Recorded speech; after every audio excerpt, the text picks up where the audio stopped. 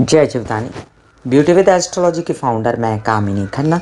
आप सभी समझदार श्रोताओं के साथ एक बार फिर एक चर्चा का विषय लेकर हाजिर हूँ। 11 जनवरी 2023 को सूर्य उत्तराषाढ़ा नक्षत्र में प्रवेश कर रहे हैं। इससे पहले सूर्य पूर्वाषाढ़ा नक्षत्र में थे, जो कि शुक्र का नक्षत्र था। और अब अपने खुद के सूर्य के ही नक्षत्र उत्तराषाढ़ा में उनका प्रवेश हो रहा है। रात्रि आठ बज के बारह मिनट पर 24 जनवरी तक।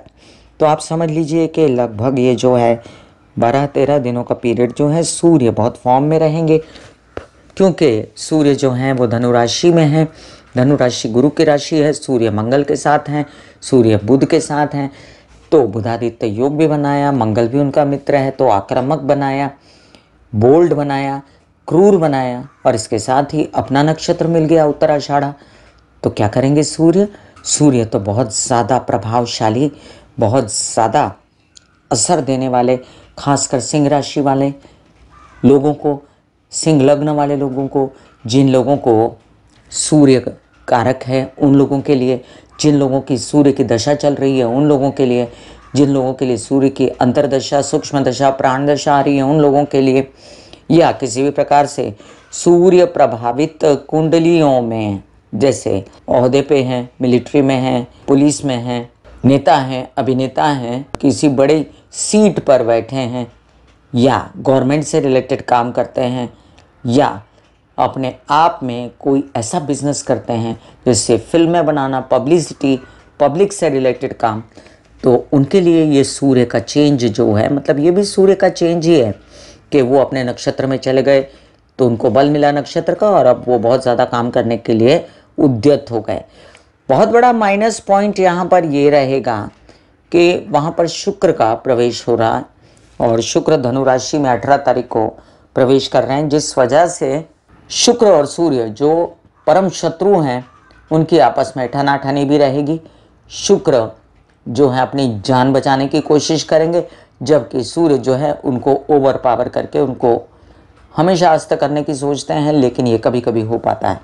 सबसे पहले आपसे नम्र निवेदन कर दूँ कि सब्सक्राइब कीजिए मेरा ये YouTube channel YouTube slash beauty with astrology जब आप सब्सक्राइब करेंगे तो पॉपअप होकर ऊपर बेल बटन आएगा, जिसे क्लिक करते ही मेरे चैनल की सभी जानकारियाँ आप तक पहुँचती रहेंगी। मैं जो राशिफल बताती हूँ, वो ज़्यादातर लग्न के हिसाब से होता है, लेकिन जब बात करती हूँ साढ़े साती ढैया की, तब वो चंद्र के हिसाब से होती है। जिन लोगों को कंसल्टेंसी चाहिए, उन लोगों के लिए व्हाट्सअप नंबर मैंने दिया हुआ है। अब हम बात करते हैं कि सूर्य उत्तराषाढ़ा नक्षत्र में जा रहे हैं। उत्तराषाढ़ा नक्षत्र क्या है? इक्कीसवां नक्षत्र है उत्तराषाढ़ा नक्षत्र मालिका में। 26 डिग्री 4 मिनट से लेकर धनु राशि में। मकर राशि में 10 डिग्री तक रहता है और उसके पहला पद जो है धनु राशि में रहता है और तीन पद उसके मकर राशि में रहते हैं। पूर्वाषाढ़ा के बाद का नक्षत्र है ये और बाद में आने वाले अपराजित तारा समूह को माना गया है। उत्तराषाढ़ा उत्तरा मतलब बाद का। और अषाढ़ मतलब अपराजित होना या अपराजय होना। तो ऐसे में उत्तराषाढ़ा का मतलब है कि जो कभी भी पराजित नहीं होता, वो वाला नक्षत्र। तो जिन लोगों को सुहा रहा है, उन लोगों के लिए चुनाव या अन्य प्रकार की कोई गतिविधियाँ जो गवर्नमेंट से रिलेटेड हैं, अन्य प्रकार की गतिविधियाँ जो आपके कामकाज से रिलेटेड हैं, आपके पर्सनालिटी से रिलेटेड है, उसमें बहुत तेज़ी लाएगा। और तेज़ी लाने के साथ साथ ये समझ लीजिए कि सूर्य इतना प्रभावशाली हो जाएगा तो शुक्र पर क्या असर पड़ेगा? वो चर्चा मैं आपके साथ शुक्र के धनु राशि में जाने का क्या असर होगा, उस वीडियो में करूँगी।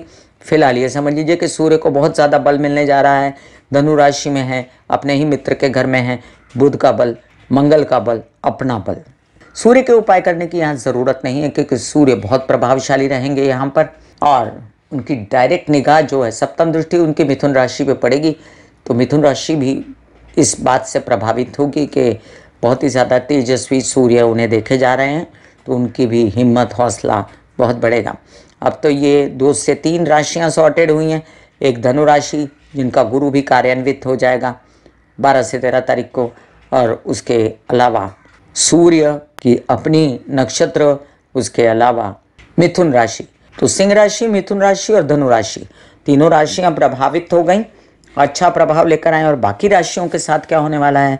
और इन तीन राशियों के साथ भी क्या होने वाला है? इसकी चर्चा मैं अब शुरू करती हूँ। शुक्र के उपायों का लिंक मैंने डिस्क्रिप्शन में डाल दिया है और सूर्य के भी डाल देती हूँ वैसे और आपको बता दूँ कि सूर्य के बारह नाम, सूर्य के वैदिक गायत्री मंत्र, सूर्य के गायत्री मंत्र ये सब भी मैं आपके लिए डिस्क्रिप्शन में डाल देती हूँ। जल्द ही मैं आदित्य हृदय स्त्रोत्र का पाठ भी करूँगी तो उसका भी आपको मैं डिटेल में मंत्र दे दूँगी।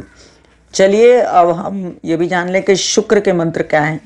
महालक्ष्मी की आराधना, माता की आराधना, दुर्गा की आराधना, काली की आराधना, ये सब शुक्र के लिए की जाती है। और शुक्र के उपाय तो मैंने डाले ही हैं एस्ट्रोलॉजिकल लेकिन जो मंत्र हैं, वो भी डाल चुकी हूँ। वो आप अपने घर में लगा सकते हैं, कंठस्थ कर सकते हैं, जाप कर सकते हैं, जप सकते हैं। और अपने घर में अगर आपको शुक्र को प्रभावित करना है, अपने जीवन को, अपनी कुंडली को तो घर में लगाइए। चलिए मेष से लेके मीन राशि पर क्या प्रभाव पड़ रहा है? सूर्य के उत्तराषाढ़ा नक्षत्र जाने का ये जानते हैं। मेष राशि। सूर्य आपके पंचम भाव के स्वामी और जाकर बैठे भाग्य भाव में। बहुत ही अच्छी स्थिति है कि दिमाग का स्वामी जो है, दिमागी खेल से ही काम कर रहा है, प्रभाव से काम कर रहा है। बहुत ज़्यादा तेजस्वी ओजस्वी स्थिति में अपने कामकाज को संभाल रहा है, आगे बढ़ रहा है। लेकिन यहाँ पर शुक्र प्रभावित होगा, जिसकी जानकारी आपको आगे दी जाएगी। फ़िलहाल आपके बच्चों की उन्नति, वीज़ा लगना, आपकी उन्नति, ज्ञान मार्ग बढ़ना, दोनों का, बच्चों का, आपका और आपके व्यवसाय में वृद्धि हो जाना, आपके कुछ काम ऐसे जो गवर्नमेंट रिलेटेड हैं, वो बन जाना, मित्रगणों से सहयोग, ये सब दिखता है, यात्राओं में शुभता, यात्राओं में लाभ और फ़ायदा, पैसों का आगे आना, फ़ायदे टेंडर्स वगैरह पास होना सब दिखता है। वृषभ राशि, आपके लिए ये स्थानांतरण जो है शुक्र का उत्तराषाढ़ा नक्षत्र में प्रवेश शुभ नहीं रहेगा। आपको अपनी तबीयत को संभालना पड़ेगा। हर प्रकार से हड्डी स्कल दांत के स्पाइन से रिलेटेड दर्दों से रिलेटेड अर्थराइटस स्लिप स्पॉन्डिलाइटिस कोई परेशानियाँ होती हैं तो आप अपना डॉक्टरी चेकअप भी कराएँ और सूर्य की रोशनी में बैठ के आप ओम महालक्ष्मी नमा का या दुन दुर्गाए नमा के जाप करते रहें, जो मैं डिस्क्रिप्शन में लिंक डाल देती हूँ। इसके अलावा भी रोग ऋण शत्रुओं में इजाफा हो सकता है और माता पक्ष की तबीयत को संभालने की भी ज़रूरत पड़ सकती है। आपके वाहन और प्रॉपर्टी से रिलेटेड कोई समस्या है तो उसको भी प्यार से हैंडल कीजिए टैकल कीजिए, व्यवसाय में चूक भूल ना करें और ससुराल पक्ष के साथ जितना हो सके आप स्पेस बना के चलें। विवाहित जीवन के साथ ही जोड़े के साथ भी ध्यान से रहें।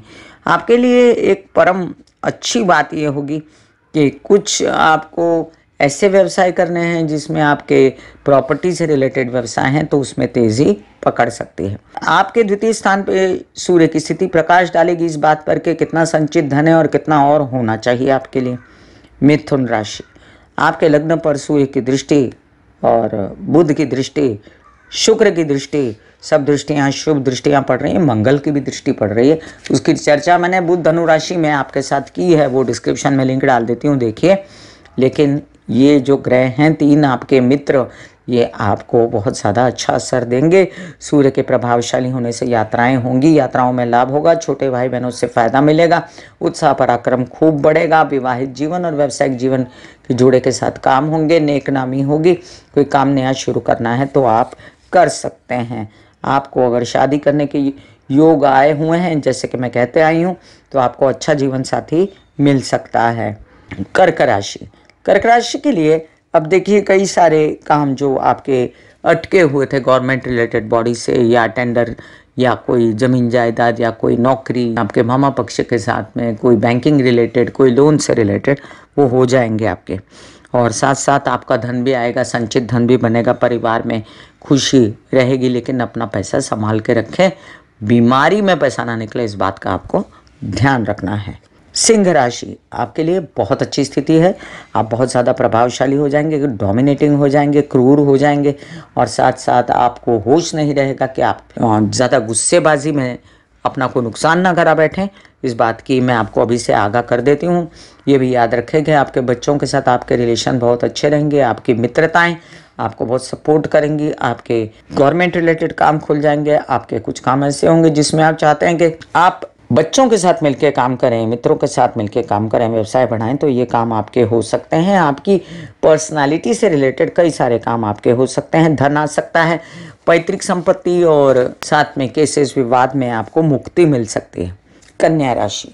कन्या राशि के लिए आपका दशम दृष्टि पे सूर्य का डायरेक्ट जो प्रभाव है, वो आपके गवर्नमेंट रिलेटेड काम पेपरबाजी या आपके कुछ काम है जिसमें नौकरी चाहिए या इंक्रीमेंट चाहिए अहदे के लिए, या आपको कोई पद चाहिए, प्रतिष्ठा चाहिए, इज़्ज़त, सम्मान चाहिए तो उसमें आपका काम हो सकता है।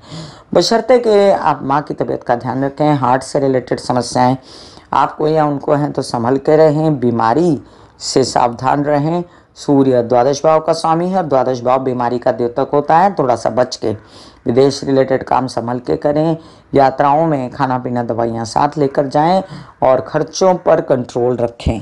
तुला राशि। तुला राशि के लिए आपके लग्नेश के मित्र नहीं सूर्य।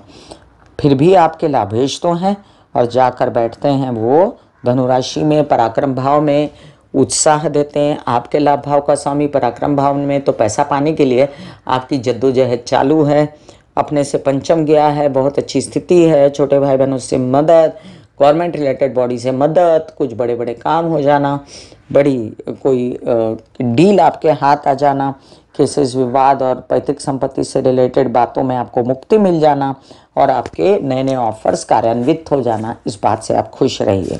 वृश्चिक राशि आपके लिए बड़ी मज़ेदार बात है कि आपके द्वितीय भाव में बैठे हैं, जहाँ पर आपको कुछ लाभ हुआ है गवर्नमेंट से रिलेटेड बोलने चलने से, भाषण देने से, नेतागिरी, अभिनेतागिरी करने से, आपकी बड़े अहदे से इंक्रीमेंट से तो आपका ये इंक्रीमेंट वगैरह ड्यू है और आपको घर परिवार से सपोर्ट आपके पैसों का बढ़ना, आपके पिता से सहयोग मिलना, आपके कुछ काम से जो आपको बैंकिंग रिलेटेड व्यवहार करने थे, कोई पेपरबाजी करनी थी, वो सब कर लो फटाफट क्योंकि ये बारह तेरह दिन आपको बहुत सपोर्ट करते हैं, परिवार सपोर्ट करता है और शुक्र की बात हम बाद में करेंगे।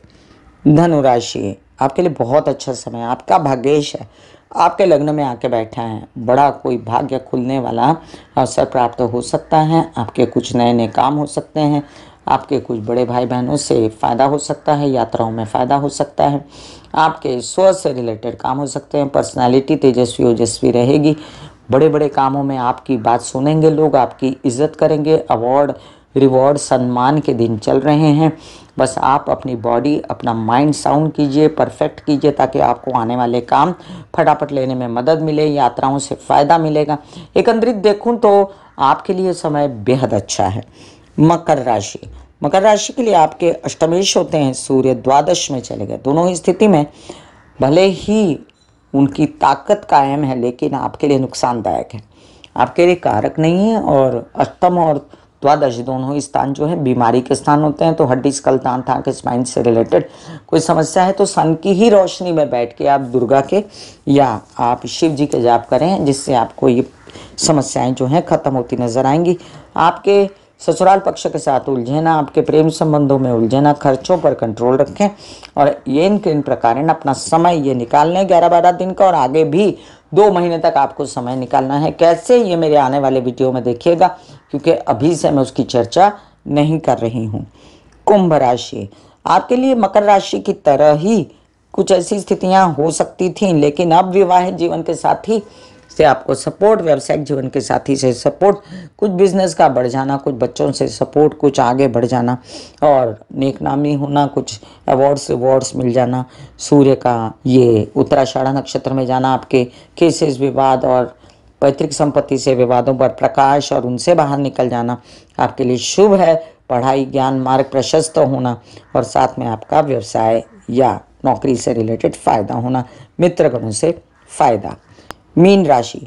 अच्छी खबर यह कि दशम भाव में सूर्य बहुत प्रभावशाली होते हैं। कोई बड़ा अहदा कोई बड़ा पद प्रतिष्ठा, सम्मान या गवर्नमेंट रिलेटेड बॉडी से काम, नौकरी का लगना, व्यवसाय का बढ़ना, नेतागिरी, अभिनेतागिरी में फ़ायदा हो जाना। माता पक्ष से सहयोग प्रॉपर्टी का बनना, वाहन का आना, बहुत ही शुभ सप्ताह आपके लिए माना जाएगा। सूर्य का उत्तराषाढ़ा नक्षत्र में प्रवेश और साथ में लोन्स वगैरह मिलना बिज़नेस का बढ़ जाना, मामा पक्ष से सहयोग, ये सब बहुत सारी खुशखबरियाँ आपके लिए लेकर आया। सूर्य का उत्तराषाढ़ा नक्षत्र में प्रवेश। मैं कामिनी खन्ना बता रही थी, मेष से लेकर मीन राशि पर। सूर्य के उत्तराषाढ़ा नक्षत्र में जाने का प्रभाव। फिर मिलूँगी इसी तरह कोई अन्य चर्चा लेकर। मैंने सूर्य और शुक्र के उपाय डिस्क्रिप्शन में लिंक डाल दिया है। मंत्र जाप भी डाल दिए कामिनी खन्ना म्यूज़िक से। कोई आपकी क्वेरीज हो तो आप मुझे बता सकते हैं। फिर मिलूँगी। आगे दीजिए। धन्यवाद और नमस्कार। God bless you take care and goodbye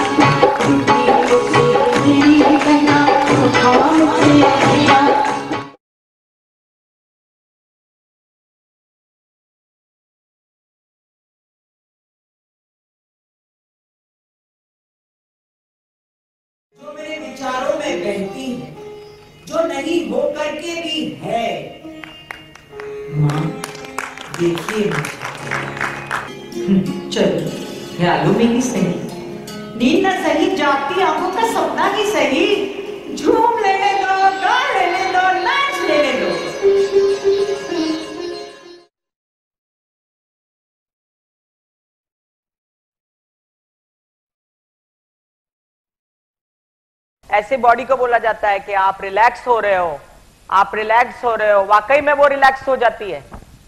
फिर आप अपने एक एक अंग को बोलिए आपकी शिखा रिलैक्स हो गई आपके बाल रिलैक्स हो गए, आपका माथा रिलैक्स हो गया, आपकी आँखें रिलैक्स हो गई। ऐसा मैसेज दीजिए, ये आपका शरीर है